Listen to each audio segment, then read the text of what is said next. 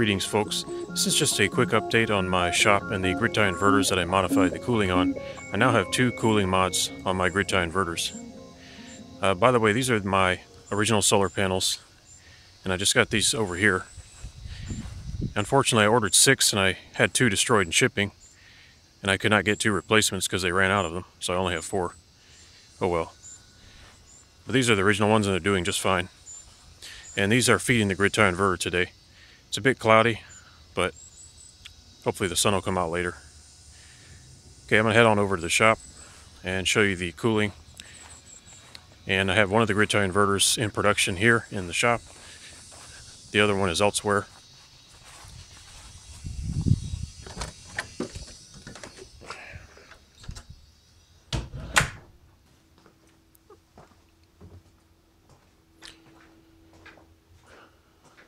Okay, so here's the grid tie inverter that's in the shop in production. Unfortunately, I'm not getting a lot of action.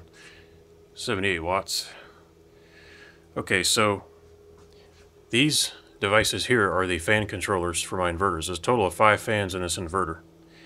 And the first modification I did was to add the boost, what I call boost fans or auxiliary cooling fans. And that's these black things here. Let me see if I can... You can see right there, there's two fans, and those are add-ons.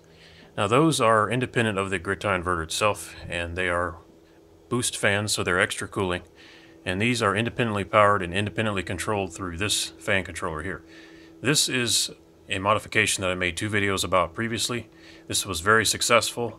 I use it on all my inverters now. I have three grid tie inverters. I use it on all of them and it's also fairly cheap to do and I do have to open the inverter but I don't modify the electronics inside. Now this is the new mod. This is another fan controller. And what I did is I took over the fans inside the grid tie inverter itself. And that's also working extremely well. Now I can control those fans. Set them to whatever speed I want. And if you have one of these inverters, these inverters are actually, um, the fan control is horrible. So it, it, the fans sputter, they spin up and down, they make weird noises incredibly aggravating if there's cloud cover especially. So the fans in here will drive you crazy. This was my first solution for that, but later on I had to go ahead and take over the fans in the inverter itself. It turns out that that's very, very good. It works out very well. This fan box is controlled by, I should say it's powered by the grid. So there's a power brick, AC power brick, and this is a grid tie inverter that's plugged into the grid anyway. These fans are powered by a couple of solar panels outside, so they are completely independent, completely independently powered and controlled. In other words, these are redundant fans also. Now with only 90 watts coming in, you're not going to see the results, but this inverter runs so cool and quiet now, and that is why I do these modifications. Um, the inverter basically, it doesn't make strange sounds anymore. The fans are very consistent. You can set them to the speed you want. And because of that, the inverter runs a lot cooler. With the original fan control algorithm, the inverter did not run cool. It ran too hot. Now I can keep my inverter around 40 degrees C, and I don't have offhand what that is in Fahrenheit, you'll have to convert it.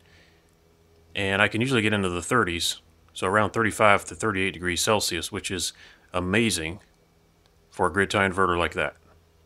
And so now that I have redundant fans, it runs very cool, runs very quiet, very pleased with this modification.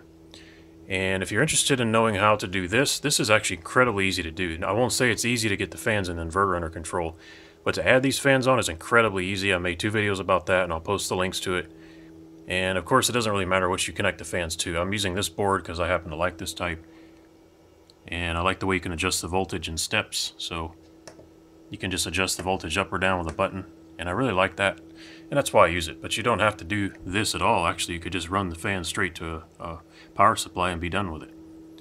And again these are running off of solar power so they're completely independent backup fans in case something goes wrong with this or vice versa. There's an extra set of fans running.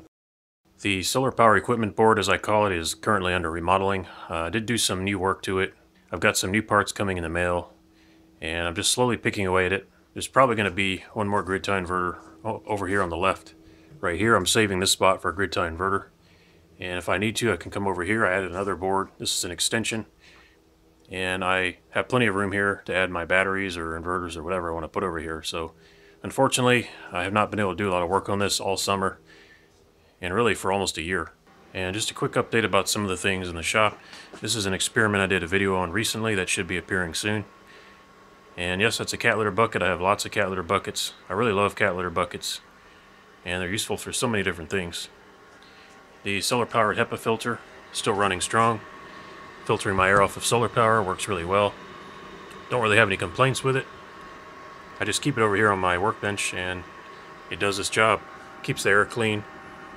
And I, for some reason I love anything with a fan motor that lights up and spins. And uh, when you plug a solar panel into it, even more so. This is my Floureon solar generator. This had a display on it that completely failed. It's running really well. I put my own voltmeter in and I disabled the vacuum fluorescent display. I do have a video out on that if you're interested. Uh, this thing was rather expensive and it's a shame they put a VFL in it because they just fail. But it's working fine now, and it's running my some of my overhead lighting. Uh, I've got an inverter. Uh, I've got a light bar plugged in here. And at night, this thing keeps my workshop illuminated really well. Gonna need to put a charge in it today because it's getting low. This uh, MakeSkyBlue charge controller works okay, especially for the money. However, it does not like a low voltage solar panel, so if it's 17, 18 volts, it will not turn on and charge this battery. It's a shame. So I really need a 24 volt solar panel into this. But uh, I'll be fixing that shortly, hopefully. I installed another power outlet right here. This is uh, to get direct solar power. So this is not a battery, this is just direct solar power. And I'm just slowly getting all these wires into control. Normally I have a lot of wires on my workbench. That has been reduced. And uh, I made this yesterday and this is for doing uh, experiments with solar panels. It's just a way to connect to it and see what the panel's doing. And over here on my other workbench, I have a rolling workbench. That's what that is there. I've had this for quite a while. It's really just some scrap lumber from my shed I tore down and kept working on it, kept adding on to it, and got these big heavy casters on there. Those are okay. Really nice to be able to roll it around. What I like about this workbench, or saw cart, if you want to call it that, because it rolls around, is that you can just move it wherever you want. If something gets in the way, or you change your mind, you just roll it somewhere else and lock the wheels. This is my supercapacitor experiment that I'm working on. I have a couple of videos out on this. It's not really done, but I'm getting ready to finalize the build. Don't know exactly what it's going to look like, but maybe I'll have a video coming out about that. Also, a friend of mine who I met on YouTube sent me this big box full of recycled lithium-ion batteries. There's all kinds of batteries in here just massive quantity. And I have a project planned to recycle these and get these in production where they'll be used for solar. And it's actually quite a lot of fun fooling around with these batteries because there's so many different kinds.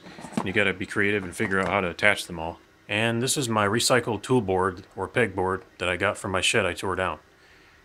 And it's not full, and it's not complete, but I finally am organized. Uh, this is on another level. I didn't used to have this kind of organization capability and I'm getting everything where it's I know where it is and I can do more projects now because I can find my tools so that's helpful and finally you can see the solar powered lighting has been upgraded now I have three pretty strong lights running just in that work area over there not counting other lights that I will be turning on later that don't put out as much light but I still like to have them and th those are LED floodlights and I've never been able to see so well in here those are completely powered by solar energy. This whole building is powered by solar and lit by solar. I do have a single grid connection for that grid tie inverter. So I need to have that so I can run my grid tie inverter. Okay folks, this has just been a quick update about my shop and the grid tie inverter cooling fan mods. Hope you enjoyed this update. Thanks for watching and I'll see you later.